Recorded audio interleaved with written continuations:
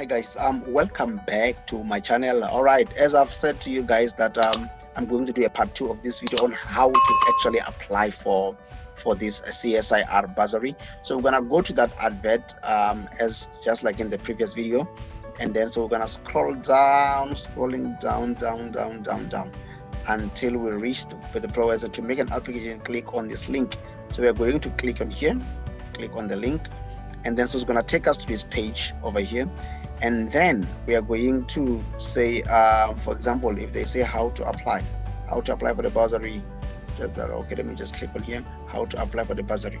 And then now they're going to give you those basic information that we've discussed already. And you can see that there are options here apply now or continue application. So already if you had um, started the application so you can continue or check your application. So we're going to say apply now and then so there's going to be a declaration here. We're going to tick i hereby declare that i'm enrolled or plan to enroll as a full-time student. I hereby declare that i will not receive any other funding for my studies. You click on that one and then you confirm. And then so now you must accept the terms and conditions. Um, unfortunately if you decline you won't go through.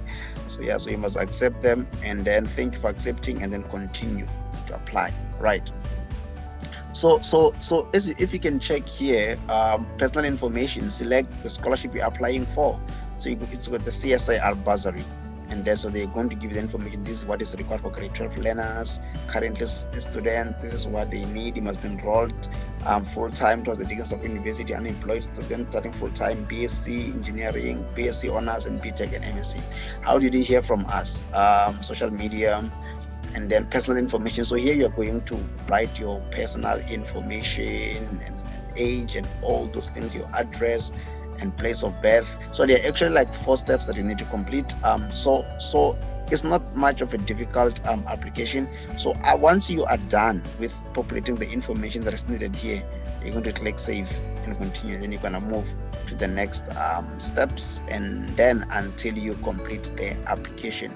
So it's not that difficult. That's um, the the easier part of completing this application. So you can move on to the second step third step and also the fourth step. So all the best guys in your application. And then i hope that um, you are going to to get this um, bursary.